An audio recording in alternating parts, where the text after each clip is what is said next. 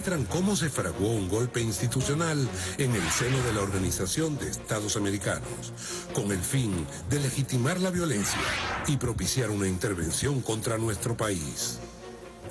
Los hechos ocurrieron el pasado 3 de abril de 2017, en una sesión extraordinaria del Consejo Permanente, cuando el representante de Bolivia, presidente pro tempore, decide suspender la sesión. Era la situación de Venezuela, cambiado sustancialmente al activarse mecanismos constitucionales en el país para resolver diferencias entre poderes públicos.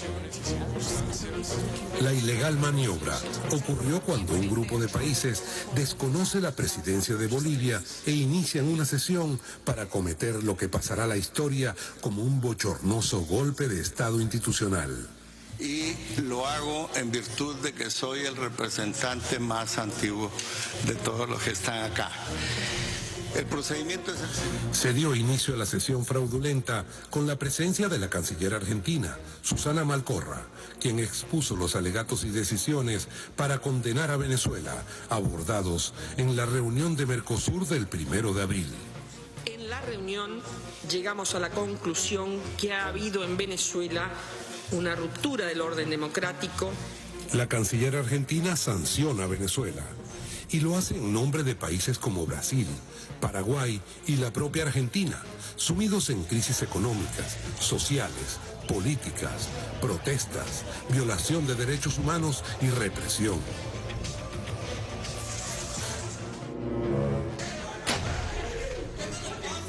Como parte de la operación, Honduras asume de forma postiza la presidencia del Consejo Permanente.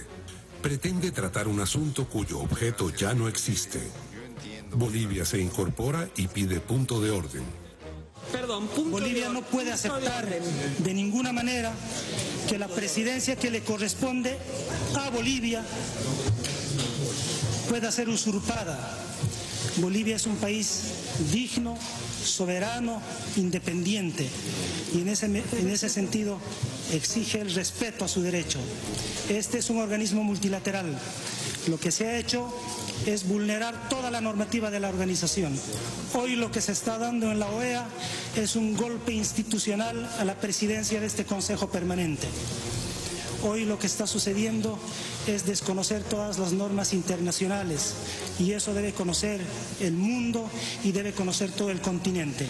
Venezuela pide punto de orden. Yo me uno a la delegación de Bolivia en la denuncia de este consejo ilegal. Es un consejo arbitrario, violenta la soberanía de los estados. Es una realmente una grosería lo que se ha hecho con Bolivia, una grosería lo que se ha hecho con Haití, pero también una grosería lo que se está haciendo con Venezuela. Aquí está la canciller de Argentina hablando sobre Venezuela sin nuestro permiso, violando toda la eh, normativa de la OEA, que en su artículo 1 dice que nada podrá hacerse sin el consentimiento del Estado. Pero más aún, la canciller argentina declaró antes de llegar a este recinto que ella buscaba el tutelaje, esa fue la palabra que empleó, señor presidente, el tutelaje de Venezuela. Si usted busca lo que significa tutelaje, significa la dirección de una persona con incapacidad para gobernarse a sí mismo. Es decir, la señora canciller argentina nos considera incapaces de gobernarnos a nosotros mismos y ella cree que tiene el poder o autoridad para tutelarnos como si fuéramos incapaces de gobernarnos a nosotros mismos. Es un insulto, señor presidente. Un insulto. Protesto esa grosería de la canciller, de la canciller argentina. Las palabras que ella pueda decir en una conferencia de prensa son palabras que se dicen en una conferencia de prensa. Lo que hay que tener en cuenta es lo que adoptamos nosotros acá. En este momento, el representante de Argentina reconoce las palabras que usó la canciller argentina, Susana Malcorra. El tutelaje de Venezuela.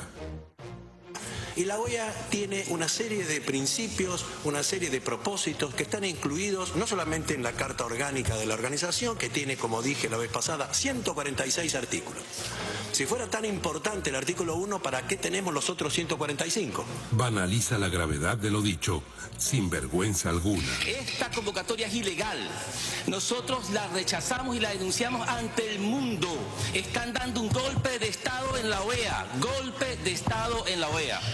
Ignorando las protestas de Bolivia y Venezuela, el presidente de facto sigue adelante con el plan. Tienen ustedes en su mesa eh, la versión escrita del eh, documento que pondré si no hay intervenciones o eh, pueden hacer uso de la palabra distinguido representante. Gracias, señor presidente. Sin funciones, la delegación de Nicaragua se solidariza con los planteamientos realizados por el presidente, y lo vuelvo a repetir, presidente del Consejo Permanente, embajador Diego Pari de Bolivia, que les quede claro a todos. Ese es el presidente del Consejo y no quien está sentado en estos momentos en el puesto del presidente, usurpando esa función. Nicaragua se solidariza con los planteamientos realizados por Bolivia, por Venezuela. Esta convocatoria es ilegal porque eh, no ha cumplido y ha violentado las normativas de esta institución se está dando un golpe de Estado institucional, lo cual es inadmisible para el gobierno de Nicaragua. Por lo tanto, rechazamos y declaramos ilegal e inexistente todo lo actuado en esta reunión. Tras una hora y diez minutos de debate, la delegada del Perú da a conocer finalmente el texto de la resolución. Para el momento de votar la resolución, están presentes 21 países en la sala. Según el artículo 57, literal A del reglamento de sesiones del Consejo Permanente de la OEA, las decisiones se toman por mayoría absoluta de sus miembros. En este caso, 18 de las 34 naciones que hacen parte de la organización. Veamos lo que ocurre a continuación. Um, I, would I would recall my comments of a few moments ago that we seek a vote on have heard uh, two reactions to the resolution.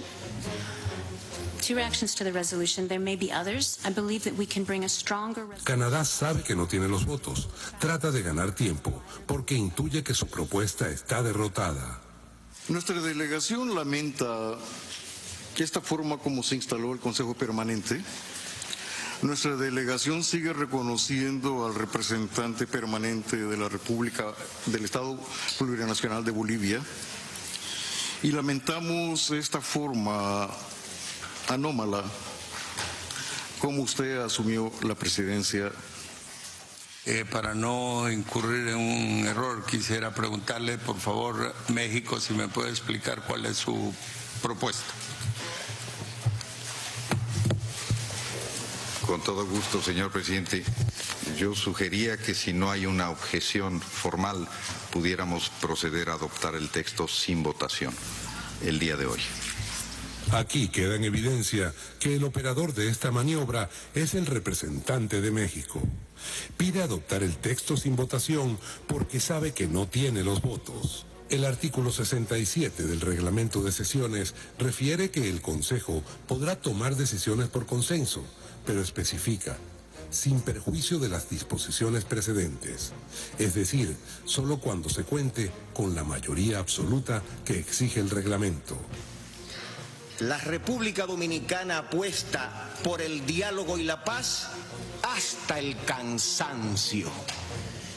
Muchas gracias. Two reactions to the resolution. There may be others. I believe that we can bring a stronger resolution to the table on Wednesday that will attract the support of a wider group of member states. ¿Podría pedirle una suspensión de cinco minutos para que los copatrocinadores tomemos una decisión conjunta? Me parece importante que los... El representante de México pide un receso para hacer control de daños. Sabe que no tiene los votos y debe cuadrar la estrategia para concretar el fraude. O sometemos a votación nominal esta propuesta o asumimos lo expresado por nuestra representante permanente de Canadá, donde tendríamos tiempo y el miércoles nos podríamos sentar a discutir y traer algo. Pero inicialmente nuestra posición es no acompañamos, nos abstenemos en, en acompañar esta declaración. Gracias. Escuchadas las intervenciones, eh, la declaración quedaría aprobada por mayoría con las indicaciones textuales que han hecho Dominicana y El Salvador al respecto de la declaración. El embajador de Honduras obvia olímpicamente la petición de El Salvador del voto nominal. Simplemente lo ignora. En su apuro por concretar el fraude, mira celosamente el martillo que sirve para señalar cuando un punto está aprobado. Y justo cuando va a cerrar la sesión, con el martillo levantado, Bahamas, por favor. Thank you, Chair. Just to say that my delegation at this point has to abstain from its support of the declaration, of the resolution. Thank you. Así se hará. ahora cuentan con 18, pero de pronto Belice. Belize also abstains. el embajador de Honduras mira al secretario Almagro buscando apoyo. Almagro, con su mirada cómplice, le sugiere que continúe. Los rostros son elocuentes. Los conjurados no se esperaban que en el último momento países soberanos que no están en esa jugada macabra levanten su voz. Quiero hacer una consulta técnica, si me permiten un segundo, por favor, porque quiero que estemos todos claros. Hay eh, unos cuatro votos de abstención. Los murmullos inundan la sala. No pueden creer lo que ocurre. Solo tienen 17 votos. Es tan evidente el resultado que la señora que está detrás del embajador de Honduras lo ratifica con sus gestos. Fíjense bien.